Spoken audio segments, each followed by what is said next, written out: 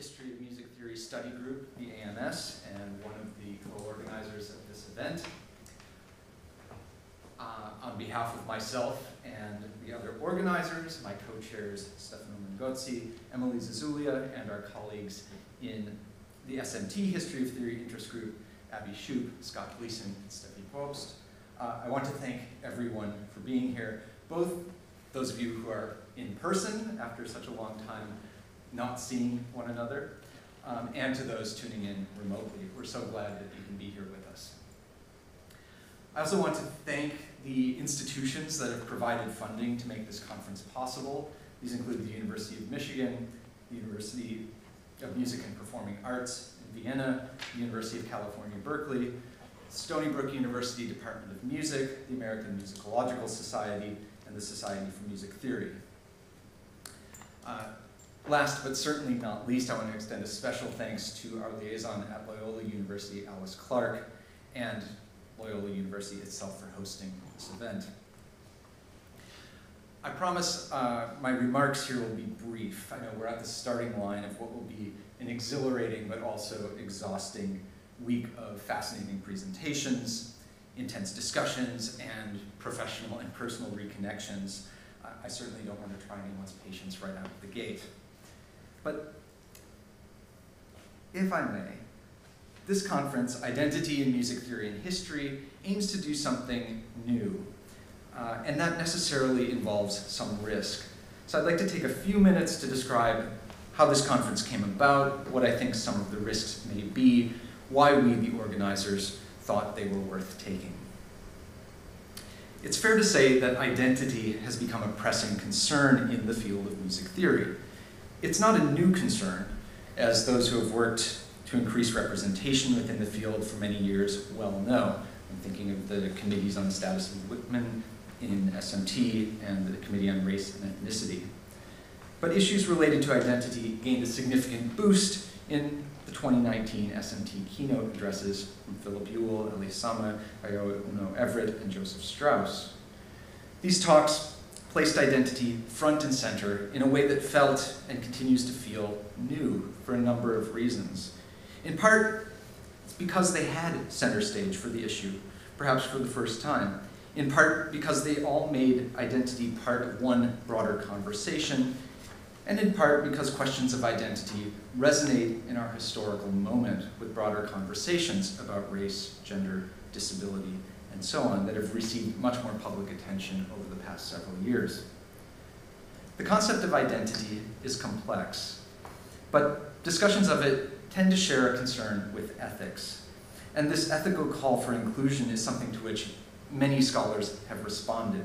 There's now a widely shared, perhaps not universal, but prevalent sense that greater diversity is a worthy goal. Specifically, there's something like consensus, I think, on three things. First, music theory should welcome people with a broad range of identities to participate in the field.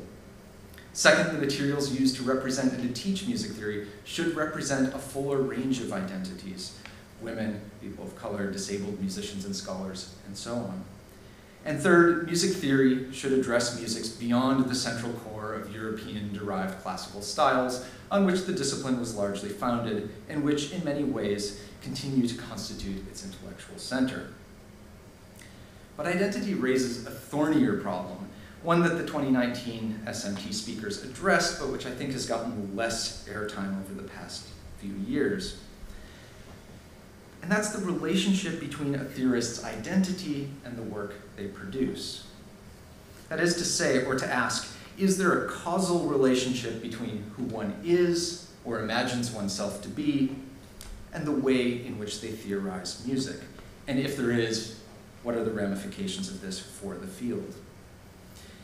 It's here that a connection between identity and theory can seem perhaps most disconcerting a kind of crude determinism lurks. A person who identifies as X will produce theory Y.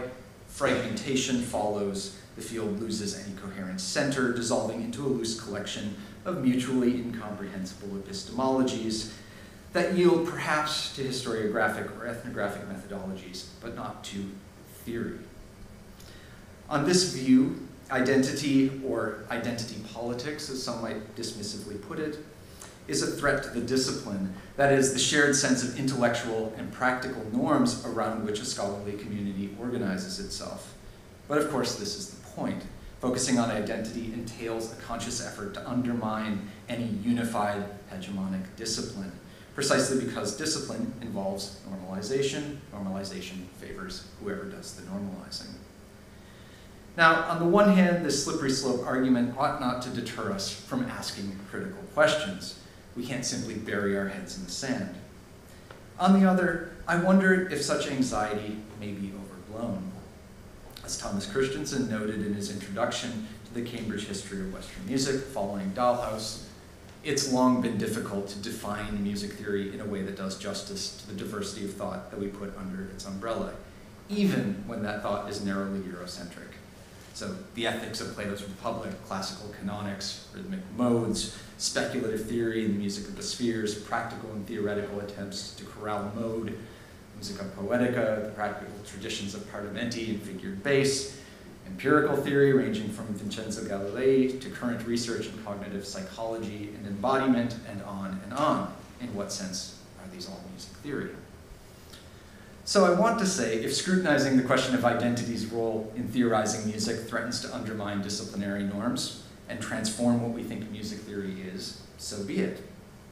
Perhaps it's only our chains that we have to lose. But this conference was organized around a more positive vision, not to tear down what has been, but to build something new. Its fundamental question is simply this. What do historians of music theory have to contribute to questions of identity. And here I think we can write new histories that may become part of what music theory is. We can include new figures and ideas in the purview of theory, as Kristen Francine is doing with Rosa Newmarch in her paper, Patrick Domiko and Lucy Liu's presentation on Medtner does this, and I think Peter Martin's paper on Isaac Vossius as well. If this approach deepens our understanding of what theory can be, our understanding can also be broadened by expanding the geopolitical boundaries that have too narrowly circumscribed it in the past. And so we'll hear work from Brian Fairley, Julia Carnero, and Ashansa Paris that point us towards the Caucasus, Sri Lanka, and the greater Mediterranean. We can also write new histories of that which we thought we knew, ideas that have manifestly been part of our canon enshrined in literature as the inauguration or culmination of this or that theory. And here I'm looking forward to Andrew Chung's paper on tuning and temperament. And then, rather than assuming the fixity of theoretical concepts that transcend the ideas of their thinkers, the identity of their thinkers, we may ask how identity was crucial to the formation of those very concepts. And I think we may hear something along these lines in Frank Heidlberger's talk on Reicha. So what if the history of music theory is as much the stories of the people who make theory as it is a catalog and delineation of their ideas? Shifting metaphors, might we loosen the soil and prepare for the growth of new paradigms? Paradigms that embrace the contingency, contestability, and sociability of music theory. Obviously, I'm not going to answer these questions, but we'll have the opportunity to discuss these ideas and more after the papers in each session and with these ideas fresh in our minds during the roundtable discussion tomorrow morning. For now, let me just say once again that I'm excited to see this conference come to fruition and to welcome you all to Identity in Music Theory and History. Thanks.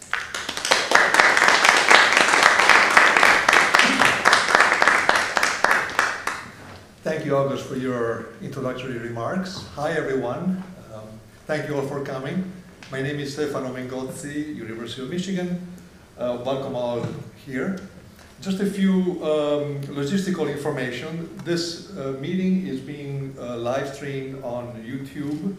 For those of you in the um, in the audience, um, your um, when you when you speak, your your comments or questions will be picked up by the microphones in the room, so there is no need to move from where you are for everyone on stage, so I'm speaking primarily to the, or only I guess, to the presenters, uh, you will have to be on the microphone, either these ones or uh, those on the table, um, so that uh, uh your voice will be picked up uh, uh, and, and live streamed. Um, for those of you who are listening uh, remotely, uh, you have a chance to uh, uh, ask questions or comment.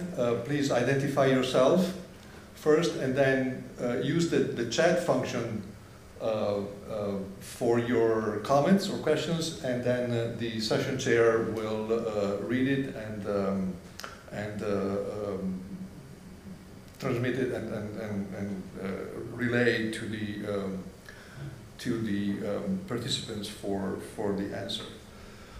Uh, there is a dinner tonight at Grand Isle Restaurant, uh, which is very close to the conference hotel, the, the major conference hotel. Uh, uh the dinner is at 7.15.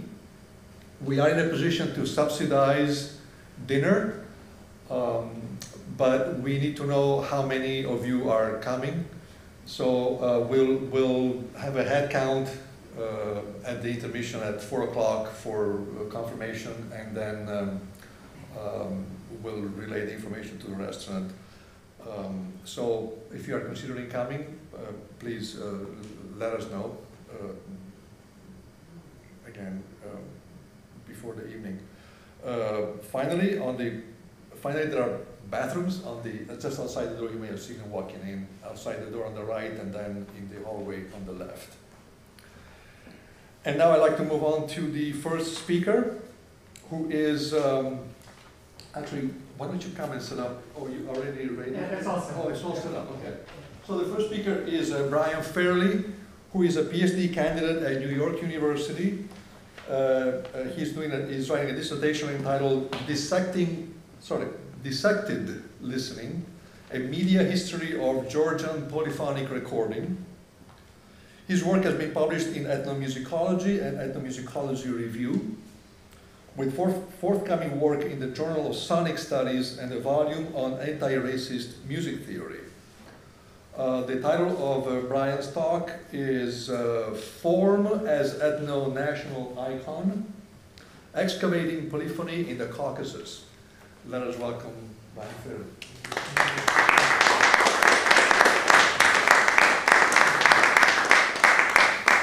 Thank you so much. Good afternoon.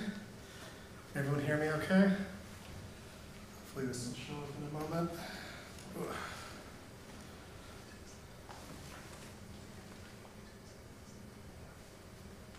There we go. Here is a theory of the nation, formulated by the most significant Georgian head of state in history, a nation is a historically constituted, stable community of people formed on the basis of common language, territory, economic life, and psychological makeup manifested in a common culture. Any, any guesses as to the author? Yeah.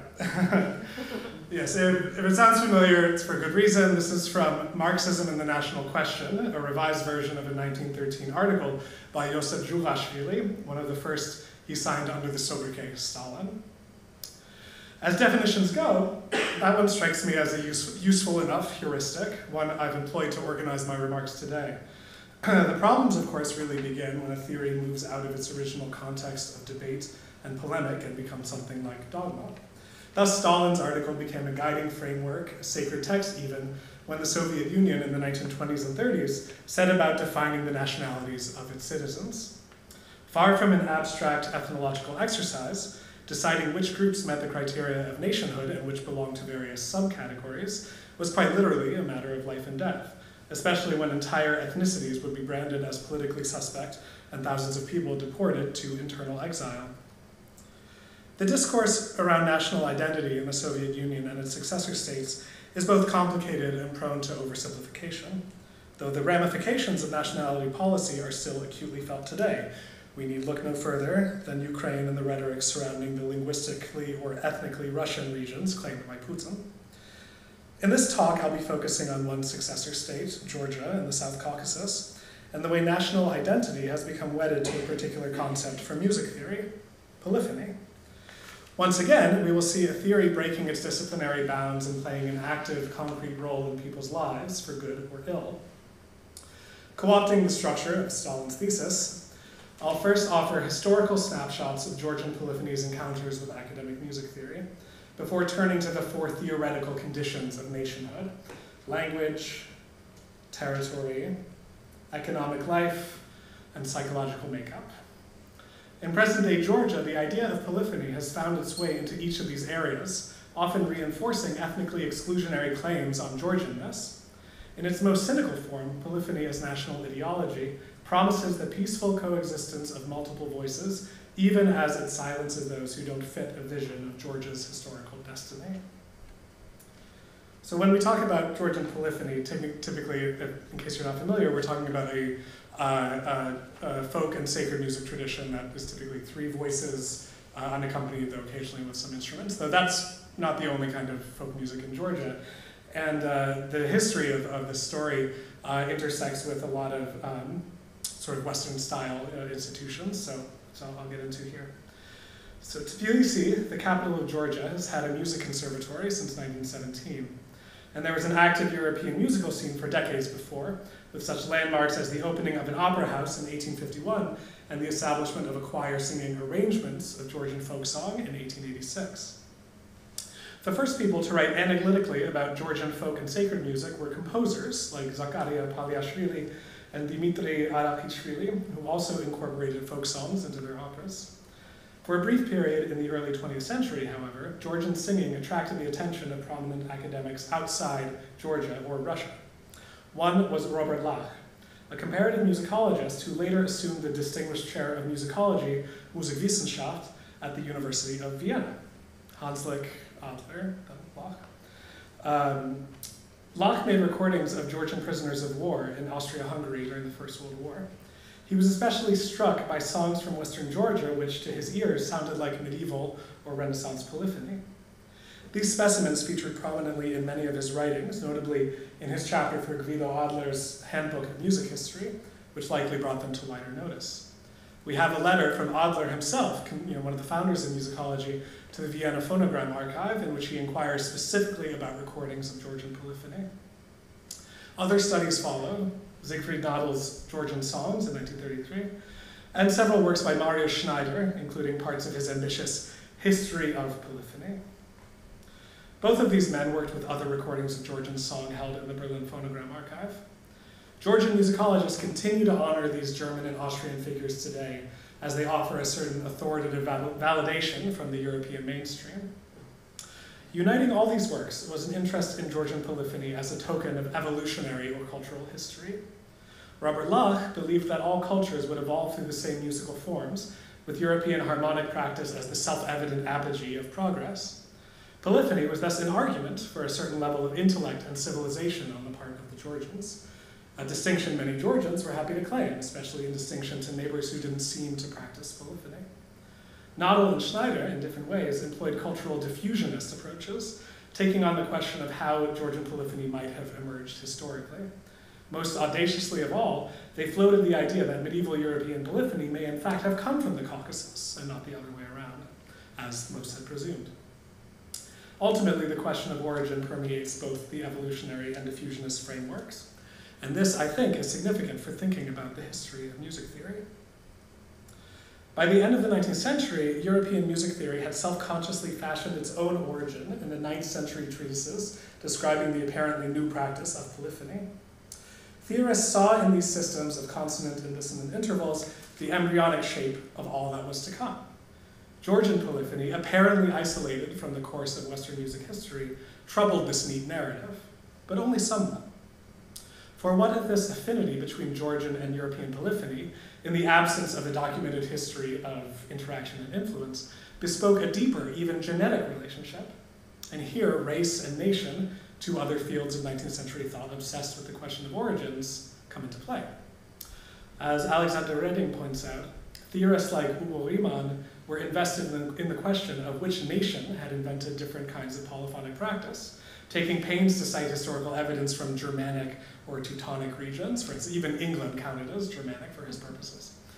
Um, it's only a few short steps, I think, from this to the position that certain races are predisposed to polyphony, something I've recently written about elsewhere and would be happy to discuss more in the Q&A.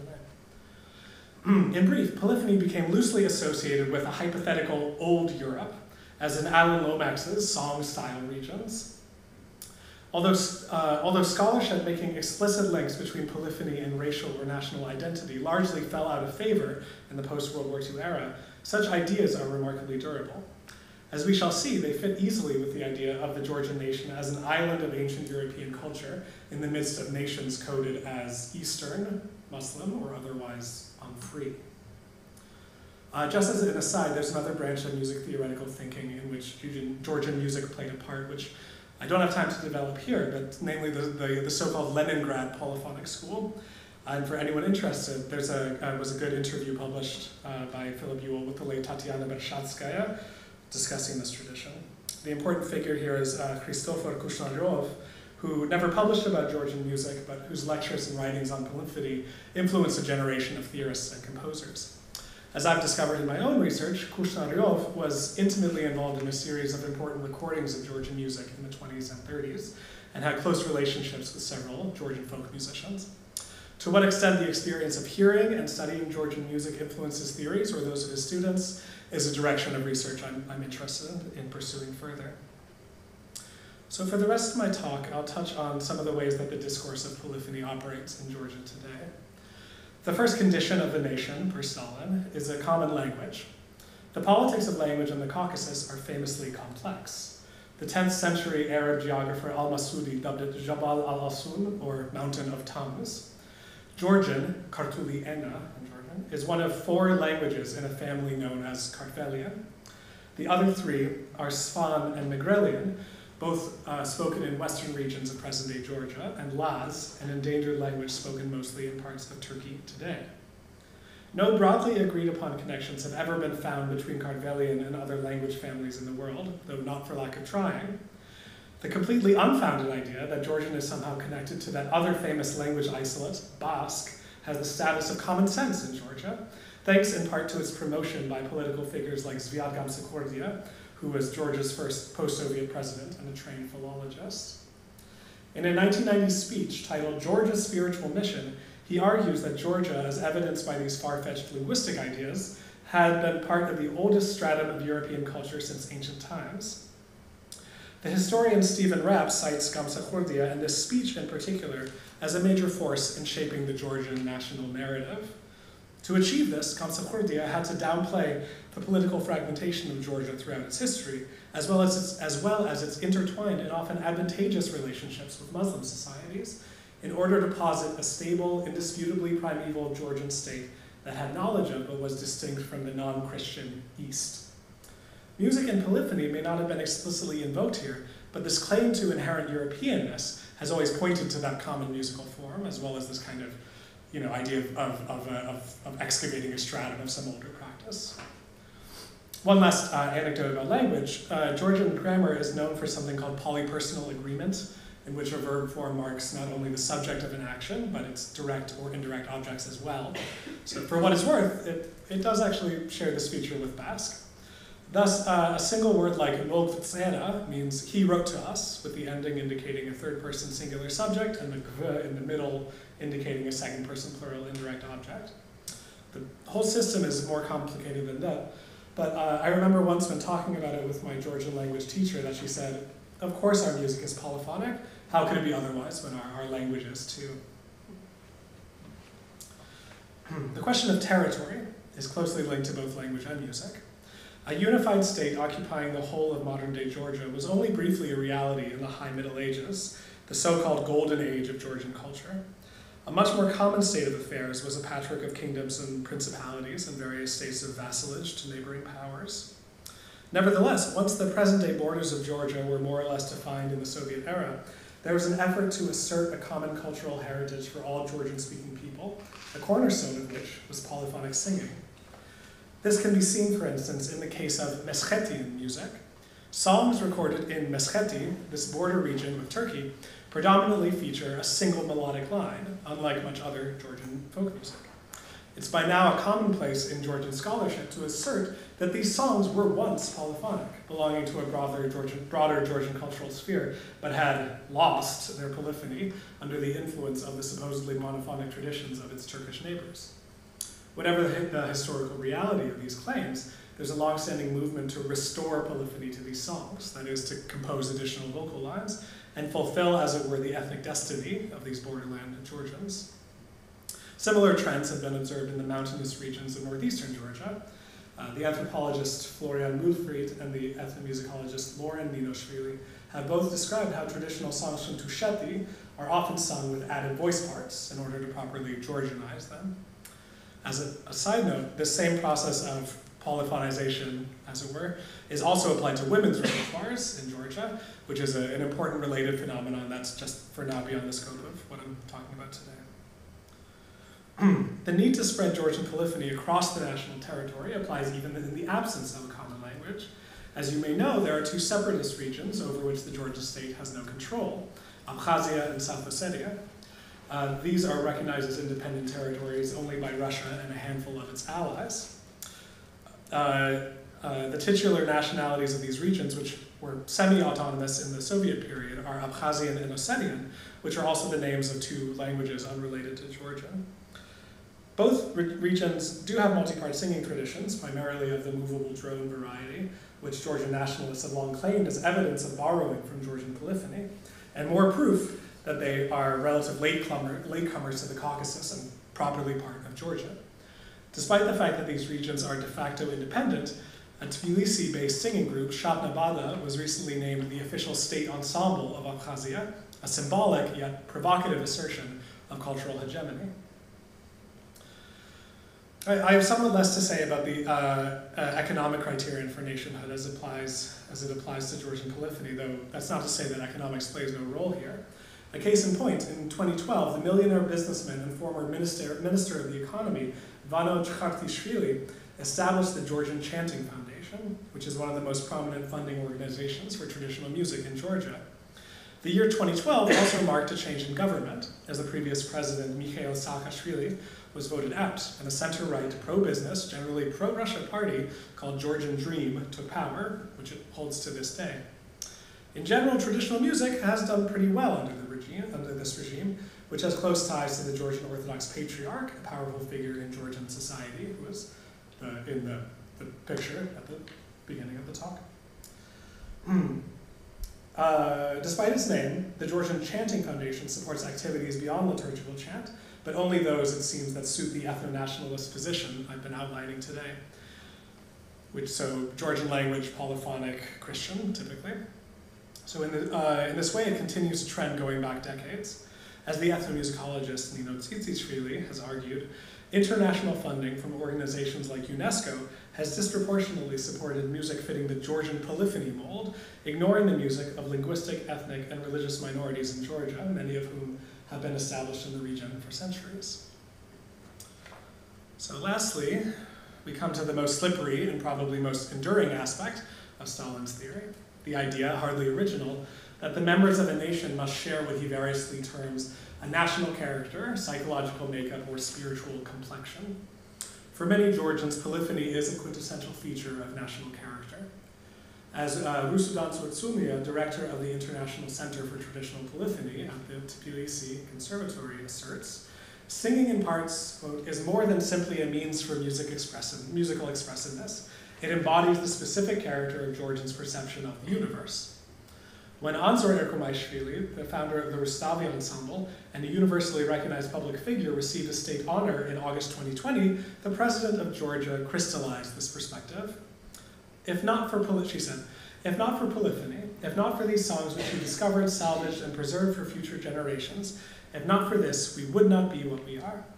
No Georgian can say they are Georgian if they have not heard Mravaljamier, if they have not heard Megruli Nana or the Gurian Krimanchuli. These are all titles and genres of folk singing. If they have not listened to the sacred chants with which we worship. The Georgian nation is the one that created polyphony and introduced it to the world. We are a nation that always sings in times of trouble or sickness. Now, it may seem simple enough to chalk this up to cultural chauvinism of the kind we're all no doubt familiar with from other contexts. But there's something curious that happens when it's not simply a genre or style that acquires this status as a national icon, but rather a theoretical category like polyphony. The anthropologist, uh, excuse me, the anthropologist Julia Sakaria noted during her fieldwork in Georgia in the early 2000s that her interlocutors regularly cited polyphonic music as a sign that Georgians were inclusive in spirit, able to harmonize with other people. Thus, in her view, there are two imaginaries in tension here. One nationalist and exclusionary, in which polyphony is the product of a pure Georgian culture, and one inclusive, in which polyphony can be made to stand in for hybridity, multiculturalism, democracy. While I agree with her assessment, I would go farther and argue that these two imaginaries are really an inseparable dialectic pair. If the concept of polyphony had not arisen in Western music theory, it would not have such enduring prestige in Georgia, nor would it be able to make such outsized claims on universality as to seem a fitting metaphor for political participation and dialogue. We see the same process writ large, I believe, whenever democracy is claimed as the unique patrimony of Europe, often paired rhetorically with other collective achievements like symphonies. This uh, indeed happened in a speech by President Trump in Warsaw in 2017. Georgian polyphony and its role in national ideology perhaps offers a window through which to understand this phenomenon more broadly. Meanwhile, Georgia's aspirations for membership in the EU, ultimate recognition of Georgia's spiritual Europeanness, finds expression in some fascinating and musical ways.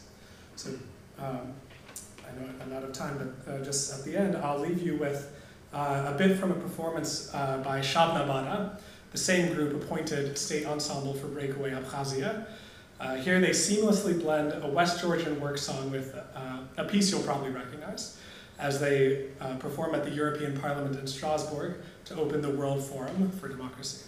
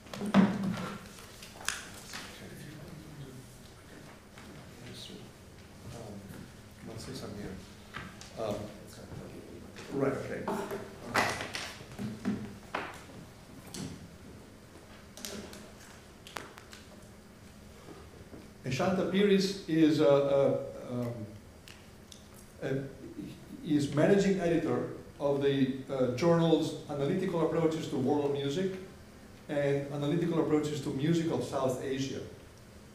He has taught in Sri Lanka and Canada in the areas of global dance history, Western music history, jazz theory, and global music cultures. The title of Ashanta's talk is uh, music theory and identity politics in post-independence Sri Lanka. Thank you, I'm glad to be here. Yes, you've heard the title of my topic. I'll give you a brief um, context to this. Um, so in the decades preceding Sri Lanka's political independence from the British Empire in 1948, Sri Lankan nationalists sought to build a national identity based on cultural traditions associated with the majority Sinhalese ethnicity. These multiple strands of anti-colonial cultural nationalism included initiatives to create a national dance form through gentrifying a ritual dance tradition, and efforts to cleanse the Sinhala language of words of European and Indian origin. In the years following national independence, two upper-class music scholars from the Sinhalese ethnic majority, Vincent Somapala and W.B. Makulloluwa, theorized Sinhalese folk drumming rhythms in relation to Sinhala poetic and the opposition to North Indian Hindustani Thala rhythm cycles. Ideologically, Somapala and Makulloluwa believed that a sovereign nation should have a national tradition of music, that a national music should have roots in the music of the ethnic majority, and that a musical tradition needed a systematic music theory to be considered, quote unquote, developed.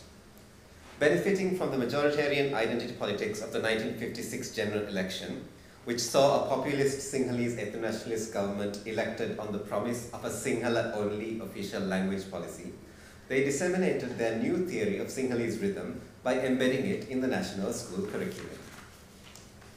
In this paper, I analyze some of the music theoretical reforms introduced by Somapala and Makulloluwa, uncover the ideological motivations that drove them, and examine the changes in performance practice that resulted from them.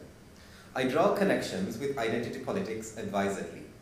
After all, the most well-known Anglophone scholarship about Sri Lankan music is Jim Sykes' monograph, The Musical Gift, in which the author argues that the identity episteme in music studies is a trap that, quote, takes a hold of us and determines for us our perspectives on sound and music, even when we recognize that it fails to respect many engagements with sound throughout the world.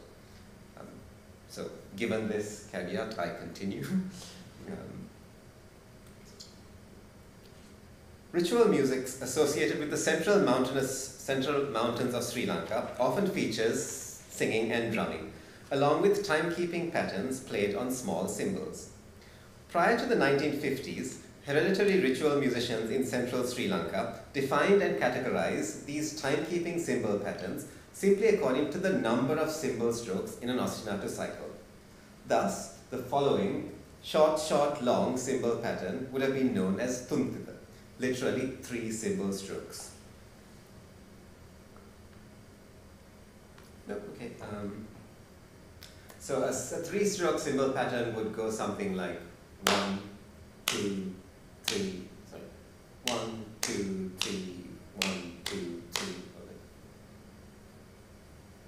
One, two, three, one, two, three, one, two, three could be one example of a three-stroke cymbal pattern.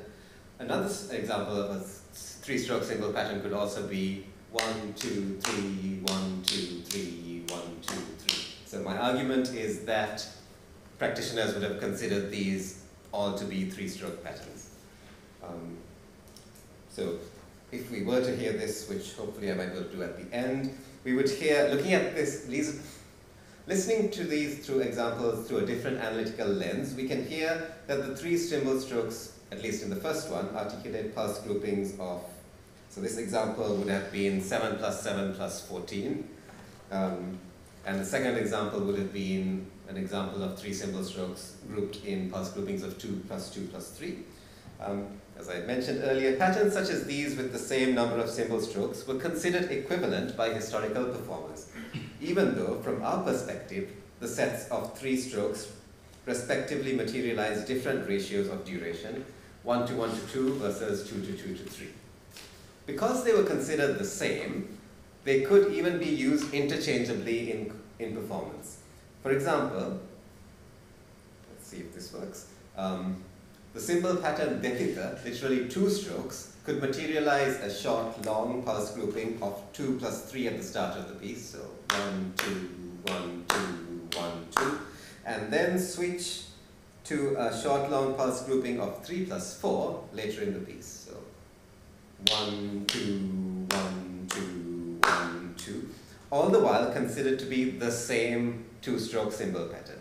It would be like switching from this first pattern to this second pattern in the middle of a piece. Let's see if this works.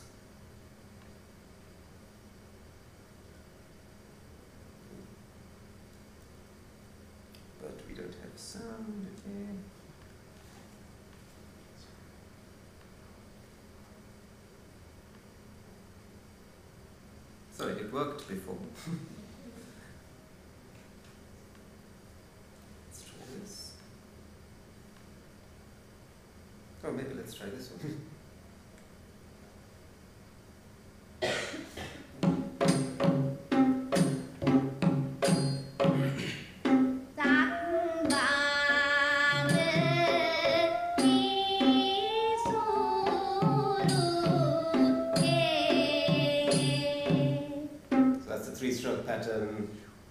could analyze it as 7 plus 7 plus 4, ratio 1 to 1 to 2. Here's another three-stroke pattern.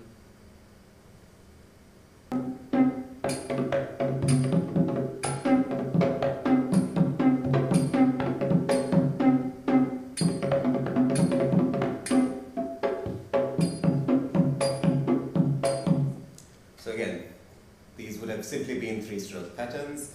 And here's my example of some two-stroke patterns which could have been, it would have been like switching from this first pattern to the second pattern in the middle of a piece. Here's a two-stroke pattern.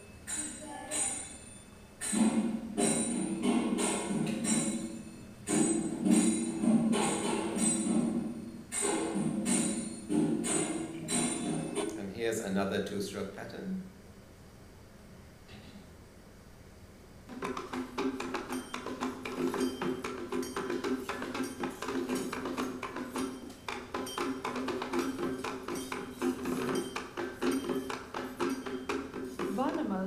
Originally. So again, here's hopefully also a visual example of the type of music and dance we're talking about. Um, I learned that it was common practice to switch um, through my interviews with senior drummers and also from the complaints embedded in the reformist discourses from the mid 20th century. And more about that. In the post independence 1950s, Somapala and Makulloluwa reinterpreted the above-mentioned cymbal patterns as distinct musical meters that were, that were defined by the number of isochronous pulses within a cycle rather than simply by the number of cymbal strokes. They did this so that they could repackage the specialized knowledge of a marginalized ritualist community from the Sinhalese ethnic majority as national cultural heritage and make it accessible to public schools. As Makulloluwa wrote, in translation, there is no doubt that taking our system of rhythm that has been passed down continuously with our race and giving it order according to scholarly principles will result in practical ease and national pride. Unquote. Interestingly, the cultural solidarity that upper caste Makulloluwa expresses with marginalized people of the same ethnicity contrasts with earlier conceptions of communal identity which were divided along lines of social class, caste, and political status rather than ethnicity. Where did these nationalist music analysts get their ideas from?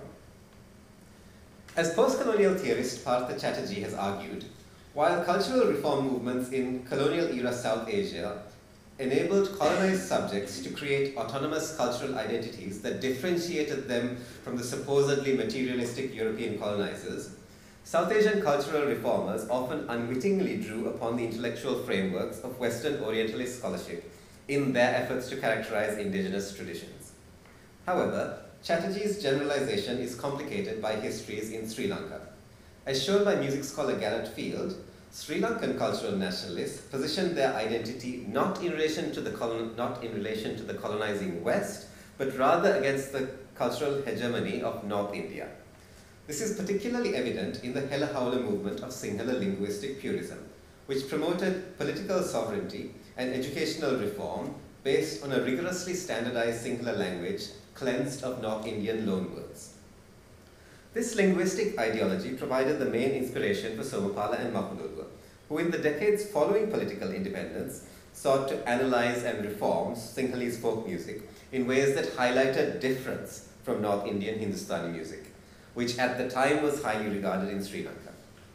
Writing in 1958, Somapala relabeled Sinhalese rhythms using terms from Sinhala poetry and redefined them in terms of the salient counts that constitute precise metered groupings of isochronous pulses, as I've shown.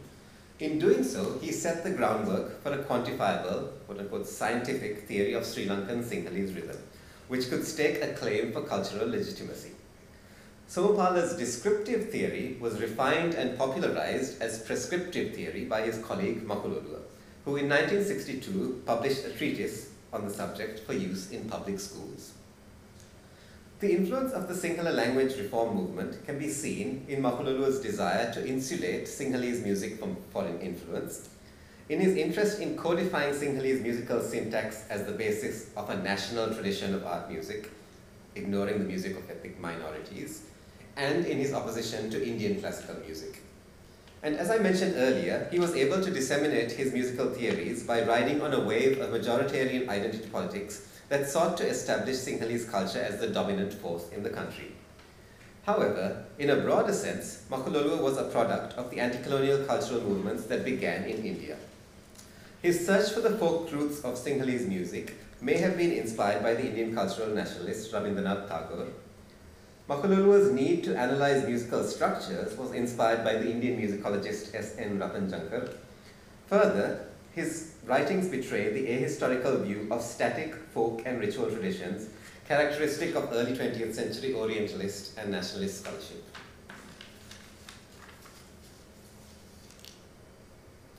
In these new understandings of cyclic rhythm, the pulse grouping patterns of 2 plus 3 and 3 plus 4 were now considered to articulate different musical meters that were no longer interchangeable within a single piece. In reinterpreting these cymbal patterns according to scientific-like pulse-based definitions, musicologists such as Somapala and Makulolu um, drew on the theories of Indian classical music as they understood them, all the while asserting that Sinhalese music was fundamentally different from the musics of India. However, they may not have been aware that practitioners of Indian classical musics likely began to think of their rhythm cycles in terms of grid-like pulse-based models only within the previous 70 years, during the late 19th and early 20th century colonial encounter between British and South Asian people, when there was a strive towards rationality in many intellectual spheres. Key moments in this history include the codifying of North Indian Hindustani classical music for mass education by um, V.N. V.S. Bhatkhande, and the theorizing of Carnatic classical music from South India by P. Sambamurthy.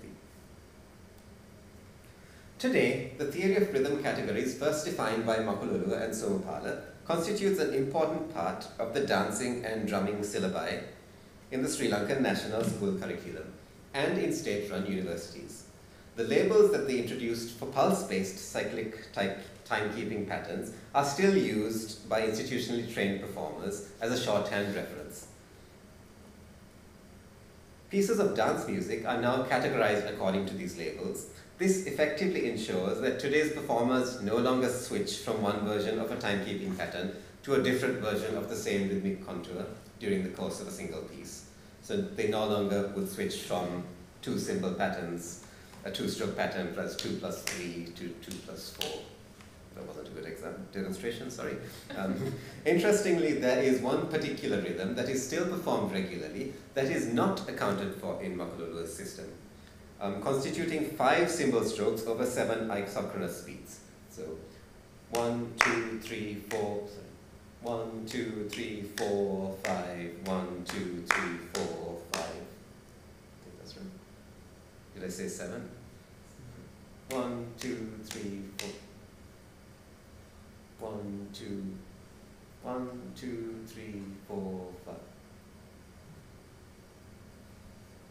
My counting brain is not working right now, but there's five counts. It's short, short, short, long, short, short, short, long, long, short, short, short, long, long. Yeah. Strangely, Makulolu acknowledged its existence, but he dismissed it as a historical anomaly.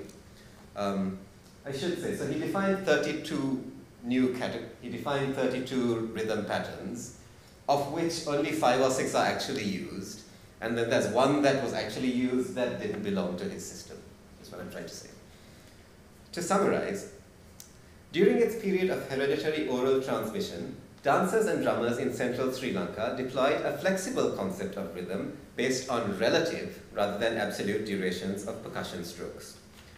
Following the commodification of this dance as national culture in the mid 20th century, the associated drum rhythms became rationalized as metric cycles according to measurable time units and were codified for mass education. These scholarly theorizations form the basis for present-day understandings of rhythm, rhythmic tradition. Similar historical phenomena can be observed in the context of Indian classical music history. Although we should be careful not to attribute all such changes solely to identity politics, the ideological motivations for these trans transformations illuminate some of the ways in which social histories can shape not just musical context, but also the very sounds of music and the way that people perceive them. Moving beyond Sri Lanka and the greater region of South Asia, I suggest, tentatively, that the ideas presented in this paper could also warrant re-examining musical traditions in countries such as Egypt, Tunisia, Iran, Japan, Korea, etc., to see if useful parallels in musical concepts could be drawn with other such musics that have undergone, undergone processes of classicization driven by nationalism in the 20th century and before. Thank you.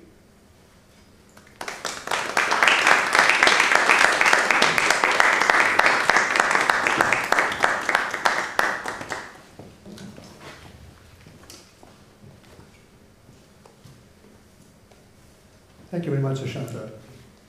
I'd like to invite the two speakers to, to on the table, uh, sorry, not on the table, to the table. And um, this is the time for questions from the audience here and also from uh, those following online. Yes, Patrick. Uh, this is for Brian. I was wondering if you might be able to uh, draw any parallels between um, Georgian polyphony and, uh, and polyphony from other parts of the former Russian Empire, because as far as I'm aware, there was peasant folk polyphony in uh, large swaths of provinces in the Russian Empire. So I was wondering what kind of connections were in terms of like heterophony or things like that.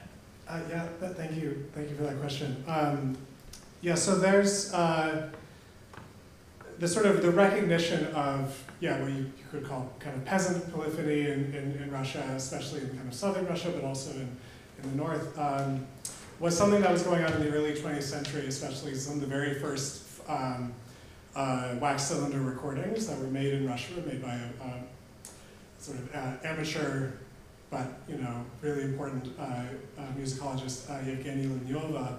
And um, this, it was also kind of a, a discovery in a way, because most, um, uh, uh, most collections of Russian folk music that have been published up to that point had been mostly kind of single, single line melodies. So this sort of like discovery of, um, of this, of this like folk harmonization was something that was really exciting and, and, and, something that, that was clearly in the air. So I feel like in a way the, the discovery of Georgian polyphony within Russian circles as well, there's a, an expedition from Moscow, led by a Georgian scholar, but you know, funded uh, by this, this, again, amateur group in Moscow in, in, in 1906. Um, so so the, the, there's an interesting question where um, the, the sort of folk polyphony in, in, uh, in other parts of, in parts of Russia is, though conceptualized a little bit differently than I think it is in Georgia.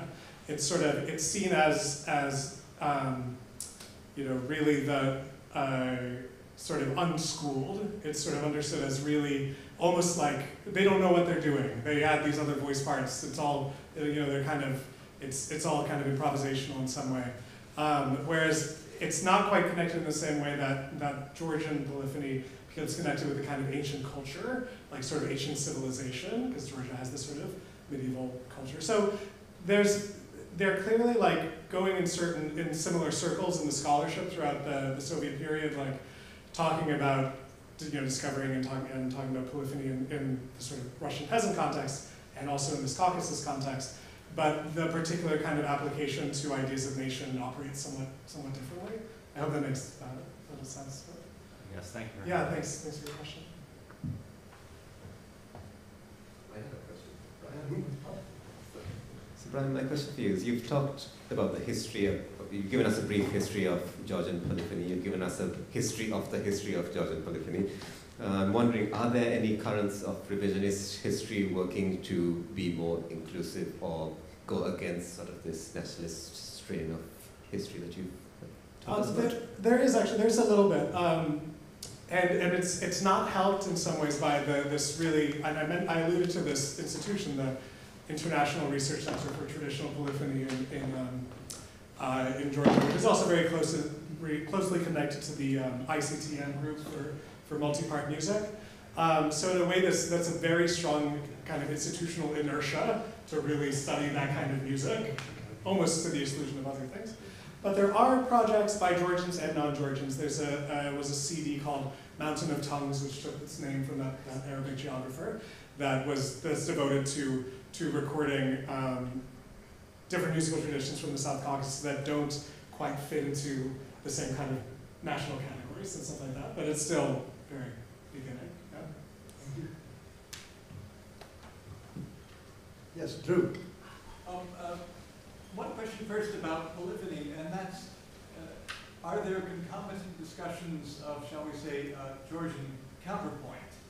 Insofar as, you know, especially in that last example we heard, you know, there's, if, if polyphony is a bucket, you know, then, then counterpoint is a kind of exclusionary rule-making marker of high culture, et cetera, as has been argued. Is there, is there a kind of, and this goes to the end of the second uh, presentation, is there a kind of creation of a theoretical contrapuntal framework, retroactively applied, et cetera, or at least tried to be, you know, articulated uh, based on a performance tradition that could give it a kind of music theoretical um, sheen? A question, and then maybe a follow-up for the next presenter. Yeah, uh, thank you. That's yeah. So the, the the style that was being kind of pastiched a little bit in the in the Beethoven bit um, is from from Western Georgia, which is known for for this very a lot of contrary movements, a lot of overlapping of voice parts and things like that. Um, the the trick though is that in, in, in within Georgia, there's really a really wide variety of, of different practices. Some of which seem to have which some of which have a single drone held, and then two kind of soloists who don't actually sing together all the time. They kind of alternate or they sing in thirds for a little bit, and and and, and other things like that. So there's there's in a way a kind of a retroactive assumption of everything into some idea of polyphony. So you kind of say, oh, it's all polyphony, but there's drone polyphony and contrastive polyphony and essentially what we would call homophony, you know, chordal polyphony. And, and it's a way this sort of, I think, although you, yes, you could kind of um, pinpoint what's what would fit a kind of Western definition of counterpoint and what and what wouldn't really, you know, what would just be some kind of parallelism. Um, but I think what, what I find interesting is that that constant kind of terminological slippage of of like like yes, it's it maybe this doesn't quite fit polyphony, but since it's Georgian, it has to be polyphonic. Like since it's kind of within this sort of cultural sphere, then let's consider it, you know, polyphonic for our purposes. And then so in a way that all of the good things that accrue to the idea of polyphony, uh, of, of counterpoint as intellectual, as rule-based, kind of they all kind of drift over into into these other these other genres in some way, or their absence is noted, like in the case of uh, the single voice music. Other questions? Yes, Peter. Um, Peter Mark. Ashanta, you, you kind of stole my, que- the question I was going to ask to both of you, so let me just ask your question to you now. Are there any uh, kind of revisionist views of, of, you know, the, the Sri Lankan kind of immediate post-colonial codification that are happening within their own musical culture or, or music scholarship? Um, in one sense, I'd say it tends to be current ethnomusicologists coming from sort of Western schools of ethnomusicology, looking back on this history and seeing, okay, now we see that this codification is part of a broader nationalist rhetoric, which in some ways goes back to Herder in the 1900s and spreads across, which is its own complicated history. Um, within um, Sri Lanka, it's. I don't think so because, again, part of the history, as I outlined, was it was taken from marginalized ritualists, repackaged as national culture, and now the people who are most strongly associated with this are people institutionally trained practitioners who are performing these dances and music on a stage. Um, so I think sort of the codification has been successful, and there's no reason to go beyond that unless it's sort of a niche experimental musician who's trying to recover some other concepts. Um, so I guess the short answer is the codification has been successful and no, there's, there's not, no countercurrents that I know of. Yes. Um, um yeah. Sorry, would you sorry I, forgot your name now. Were oh, you Kristen. Kristen, thank you. Yeah, I had a quick question for Shanta. Just, you mentioned the sort of 30, 32 rhythmic patterns of which some are used and one exists but isn't done there. I'm just curious if you could say a bit more about the purpose of the patterns that aren't actually used. Are they sort of mathematically theoretical or how, how do they fit into this system? Yeah, so maybe I should have explained that more, um, which I will do now. Um, so Makulloluwa discovered, or he was aware of a, traditional poem verse used by ritualists which referred to 32 thalam. Um, so thalam in some Indian context refers to rhythmic cycles. Um, in other folk South Asian traditions, it just refers to rhythm, rhythm patterns. Um, but either way, so there's this traditional verse that exists that says there are 32 thalam. So Makulloluwa figured, okay, there needs to be, we need to recover this, these 32 which were lost during colonialism. Um, and his way of recovering it was to be like, okay, when I do combinations of twos and threes, I can come up with this set of 32. Um, so he came up with a set of 32, of which, as I mentioned, five or six were still being used. Um, so that worked perfectly well for him. And then he had to account for, or he didn't account for this other one that couldn't be created from his system of adding twos and threes. And so his explanation was, well, this is this is a version of this other one in my system of 32. So yeah. Other questions? Oh, For Brian, um, thank you both for your talks, it was wonderful. Um, this is kind of a follow-up to Drew's question. It doesn't sound as if there's, you know, a treatise that one can go look up, they will give rules of, you know, uh, Georgian polyphony. Um, but I'm wondering if you've looked at pedagogical context, like how is, how is this music, you know, um, what's the process of transmission of, of teaching? Um, are the, are the rules, are there rules that are implicitly codified there? And, and I guess the other thing is if you have a sense of this discourse, um, and the methods, is this kind, is the dialectic of exclusive and national and inclusive and hybrid, is that evident in the, in the pedag- pedagogy? I'll think that, I'll think about that second part. Um, but, but in terms of the, the, the question of uh, pedagogy and, and transmission, it's a little, it's complicated by the, um, the Soviets' decades of, of, uh, of, of institutionalization of, of folk ensembles and things like that. Um, it, from, from, you know, from reading sort of ethnographic accounts and things like that, um, it seemed like the process of of, and, and actually I should make a distinction between here the secular and sacred traditions, because there's um, sort of secular folk music um, was typically understood to be something that you kind of picked up, like you sort of, there wasn't, there's not like a kind of a guru tradition or anything like that, you just kind of picked it up, but maybe you, uh, but there was, there were like a lot of small kind of landowning gentry in, in, in Georgia, especially Western Georgia, and they might like hire you to kind of be, you know, a singer. So there was definitely some a professionalization, but not necessarily uh, a kind of a training regimen that, that always happened. So this, I, so, and that tends to be just how people learn the songs, and they kind of pick them up at home.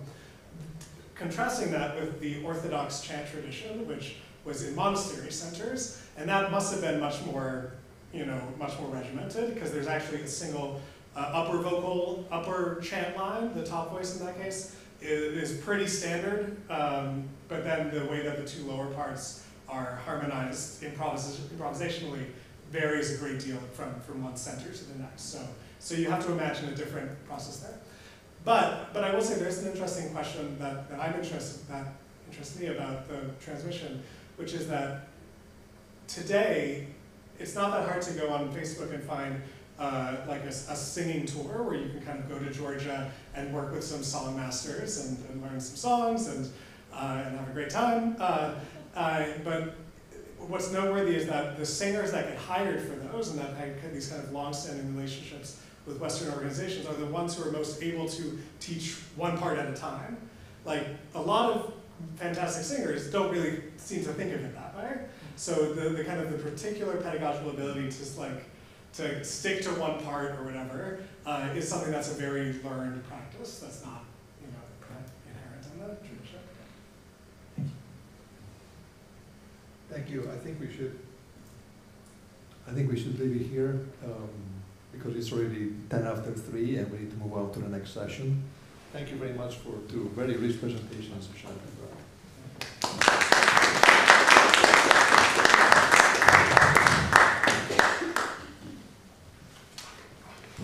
Good, it's on. All right, hi everybody, I'm Abby Shoup. We're going to get started with our next session. And starting off this session, we have Patrick D'Amico, who is a PhD candidate in musicology at Indiana University in Bloomington. His dissertation examines modernism and the Russian musical um, immigration in Paris and the United States in the 1920s through 40s. His other research on Nikolay Medtner um, has appeared in Nikolay Medtner Music, Aesthetics, and Contexts from 2021. This paper was co-authored with Lucy Liu, who is not going to be able to join us today, so instead we just have Patrick. Thank you very much. Thank you. Uh, I believe someone's gonna turn the volume up a little bit more for me. Uh, when we tested it out, it was kind of, uh, soft. Let me test it out here before I get started. Let's see how it is.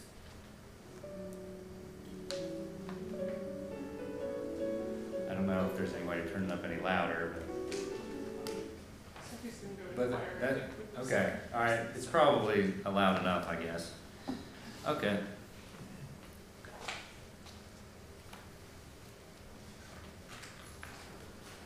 Thank you very much for coming.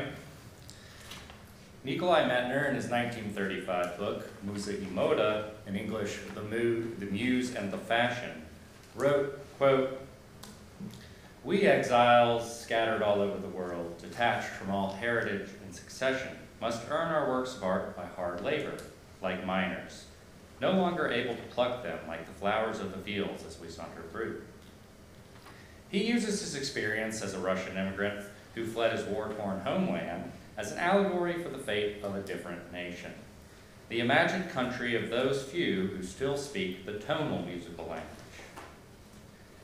As a leading Muscovite symbolist composer prior to his immigration in 1921, Medtner was surprised to find himself unknown and unwanted in the West, a West that had abandoned his cherished musical values for the latest modernist fashions, or so he thought. He felt this spiritual exile from like-minded composers as keenly as his physical exile, blaming modernism for the degeneration of the tonal musical language and the weakening of music's power to produce collective, unifying experiences. Medtner's anti-modernist book, published with the support of Rachmaninoff, staunchly defends his beliefs by presenting a unified theory of tonal music. This theory revolves around belief in a, quote, primordial song as music's divine origin. Composers, like prophets, perceive its eternal themes through sudden flashes of inspiration. Uninterrupted contemplation of these inspired themes justifies the action and work of music composition itself. Furthermore, such themes can hypnotically, quote, plunge the listener into contemplative oblivion. Yet the discordant sounds of modernism and the modern world have dulled many composers' perception of the primordial song and its themes, disconnecting their creations from music's divine, unified source. Medtner's idiosyncratic presentation of common theoretical concepts, for example, cadence, modulation, theme, and form, cannot be untangled from this cosmology and from the personal need for music to embody the unity absent from his own itinerant life.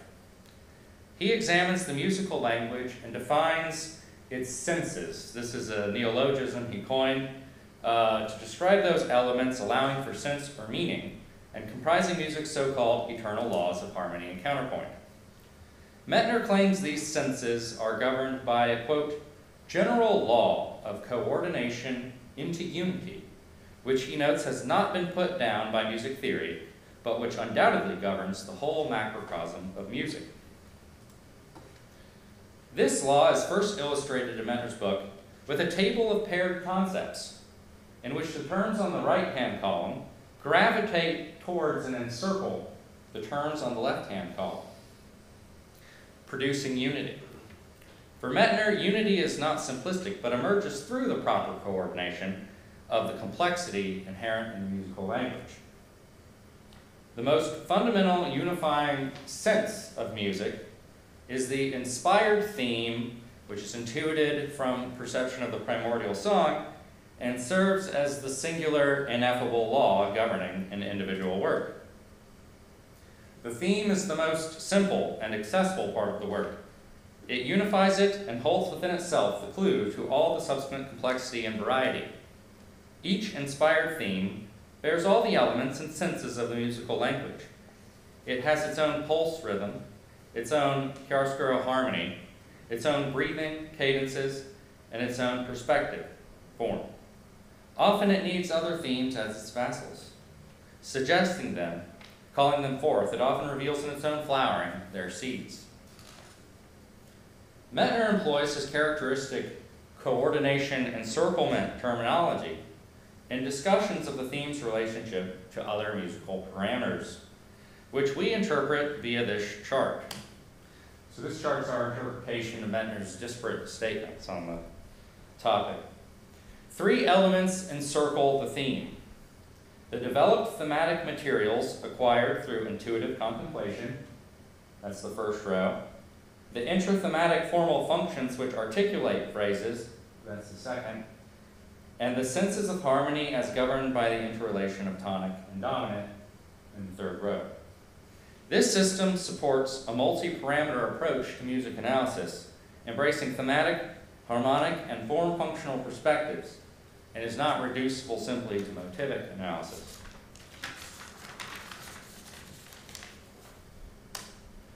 We turn to the second movement of the Sonata Idyll, Opus 56, in sonata form and composed just after Medtner published his book, to showcase the following. One, his approach to thematic development rooted in the need to constantly return to his themes in different contexts and arrangements. Two, his idiosyncratic use of cadential and continuation functions as thematic content-bearing units, which loosen the theme's presentation, resist liquidation, and generate a pervasive developmental field. And three, his novel conception of the dominant as both a device capable of modulating anywhere and as a flexible tool to connect distant chromaticism back to the tonic. Medtner describes the intuition of a theme as, quote, an unexpected illumination of its image as by a flash of lightning, after which the artist need only recall it and mentally reconstruct its disappearing contours. End quote. The composer's practice of continually contemplating and reconstructing intuitive themes is illustrated in Medtner's music by specific procedures of thematic exposition and development. His thematic expositions tend to be incomplete, as if a theme cannot be wholly remembered, and his developmental techniques include many thematic recontextualizations, recombinations, and reorderings in which vassal themes are recruited to illuminate various aspects of the main theme. The Sonata Idyll's three key exposition follows the standard 1 3 5 key trajectory. None of these three keys are confirmed with an authentic cadence, resulting in expositional failure due to the second subordinate theme's lack of essential expositional closure. S2 itself feels incomplete, and please see example one. Its first nine bar phrase heads towards an authentic cadence, evaded through elision with the next phrase.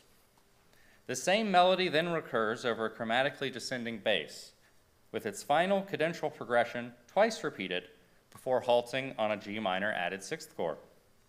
This prepares the surprise imitative recall of the main theme in G minor, the tonic minor, blocking the attainment of the EEC and preventing S2 from achieving tonal stability or rhetorical solidity. Indeed, no cadence appears at all to close the exposition, as tonic minor slips down a fifth to C dominant seventh. let's listen to S2 in the exposition.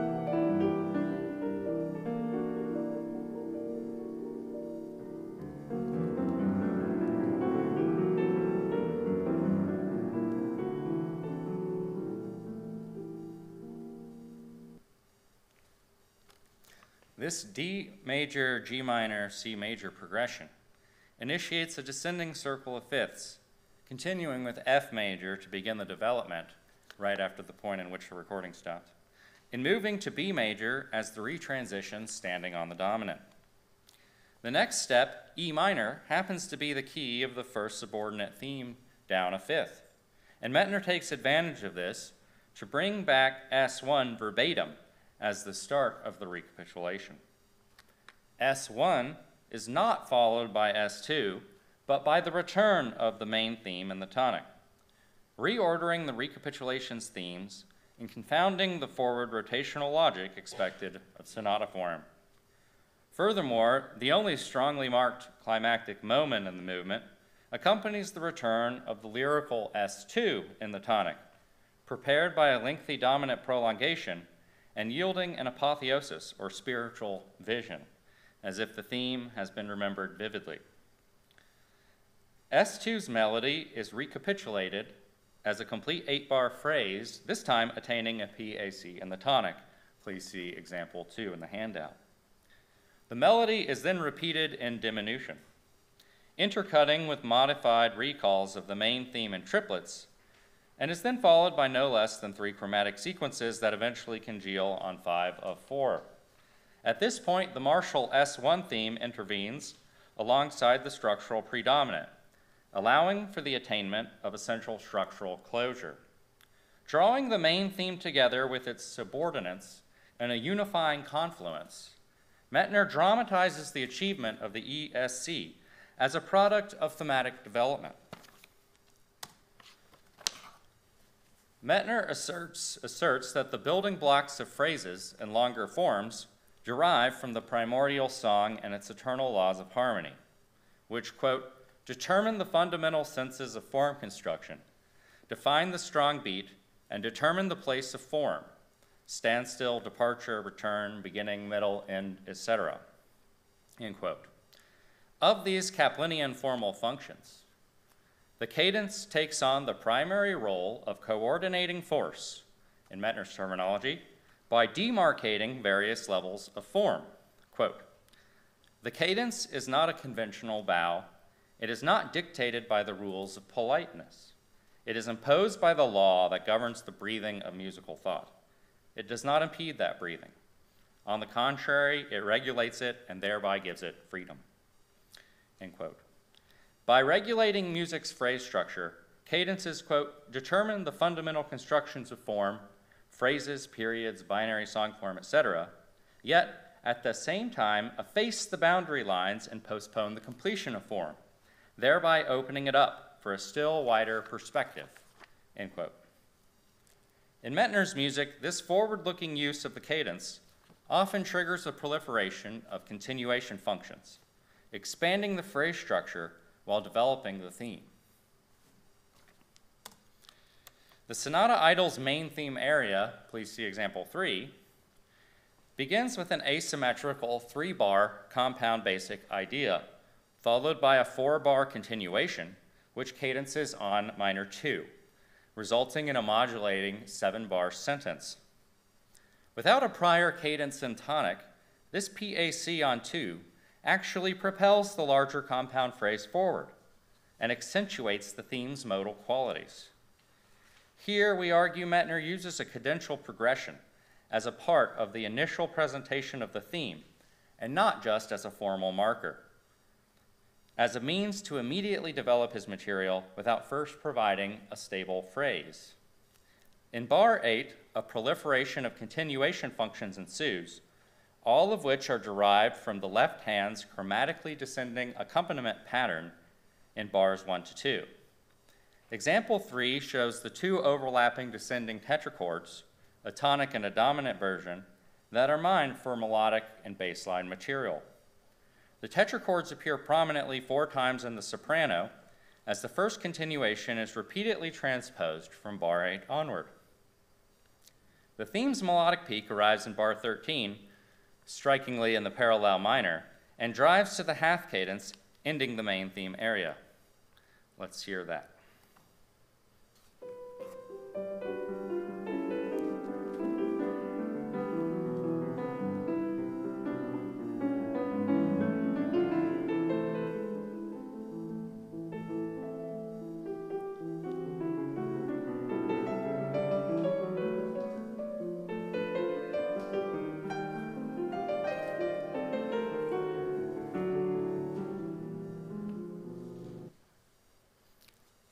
Span of only 15 bars, Medtner obsessively revisits elements derived from his compound basic idea and its continuation, building his main theme through the accretion of small recursive variations. Indeed, the choice here to write a brief modulating sentence followed by transpositions of continuation derived fragments is unusual for a main theme, a conventionally tight knit space. The loosening strategies typical of continuation units are used to develop the theme's melodic and harmonic tendencies right away. Yet Medtner's treatment of his material differs from those procedures associated with the Beethoven Brahms tradition, as his chosen units are longer than a few notes, and he manipulates more than just a characteristic contour, rhythm, or pair of chords. Medtner posits harmony to be the quote, principal encirclement of the theme asserting that harmony acquires the seal of inspiration only in its gravitation towards it. End quote. Harmonic practice is defined by those musical senses gradually discovered by humanity through continual contemplation of the primordial song, and which Medtner organizes into this chart here. The resultant tonal formulas derived after centuries of humanity's engagement with intuitions of the primordial song. These tonal formulas never grow stale and re- retain an enduring incantational power, in Medtner's terms, akin to, quote, ancient prayers. This chart is made up of a bunch of nested binaries, basically, which we have untangled and summarized in our own kind of interpretive scheme here. Um, two senses coordinate the rules of voice leading the gravitation to the tonic of other notes in the scale, and the gravitation, gravitation of dissonant intervals and chords toward consonances. The determinant, or quote, coordinate of tonality is the dominant triad, because of the consonant diatonic triads, only it possesses, quote, both the leading tones that gravitate most directly towards the tonic. End quote.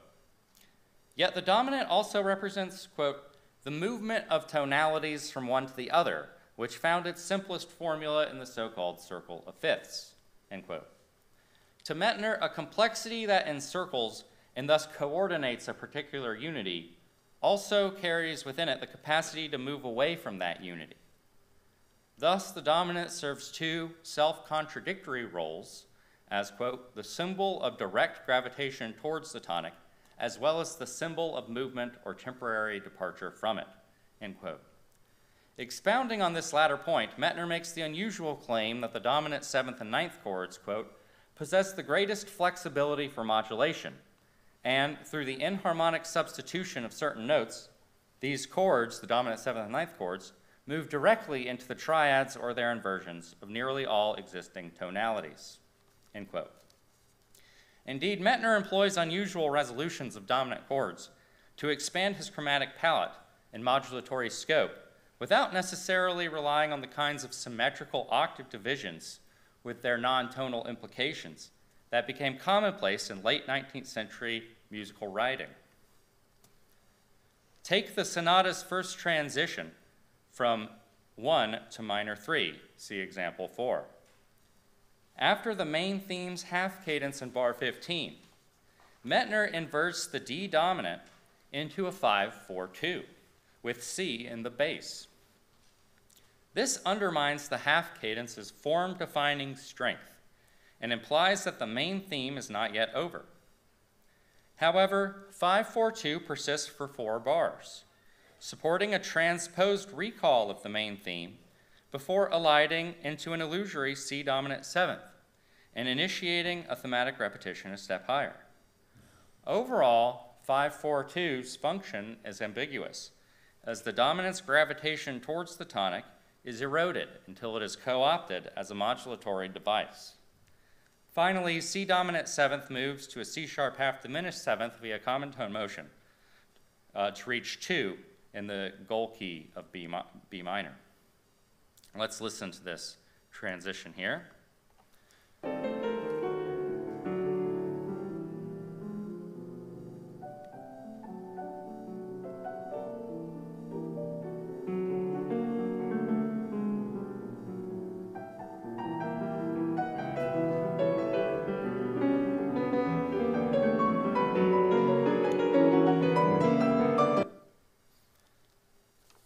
And Medtner's thinking, chromaticism must always encircle the unifying tonic key.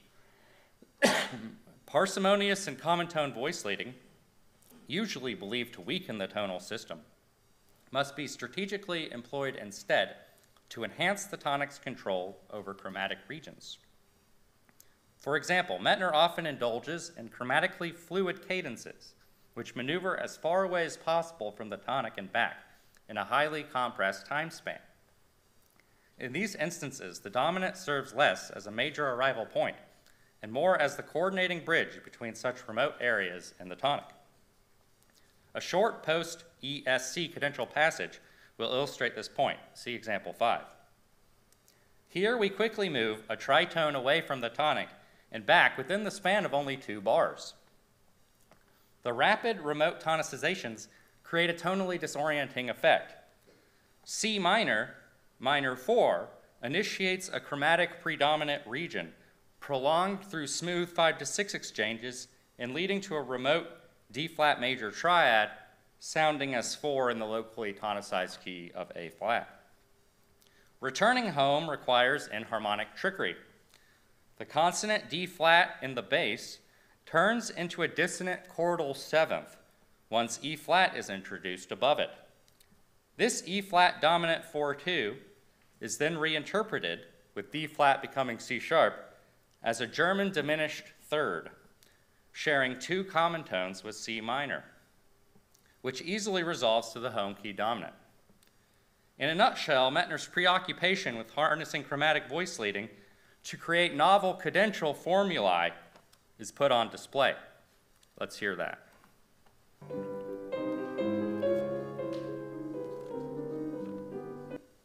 And let's hear it again since it's so short.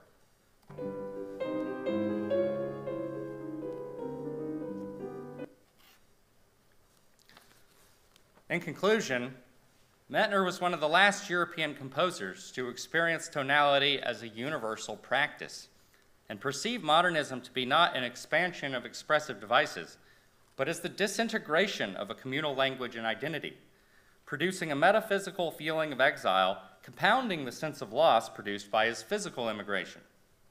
His impassioned defense of tonality set out to identify and affirm its fundamental laws, while conducting a quote, exorcism of those modern compositional practices which were thought to degrade it. Medtner's case provides a vivid example of a composer who believed music to possess a unifying spiritual power foundational to the rapidly degenerating Western world.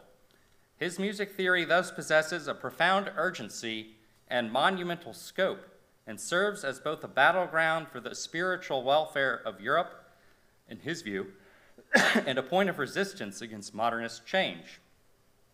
Medtner's writings, thus, are a locus in which issues of personal identity intersect with a novel account of modernism as a destructive social force. His case illustrates how seemingly conservative music theory can serve new functions and goals despite the so called eternal nature of its laws. Thank you very much.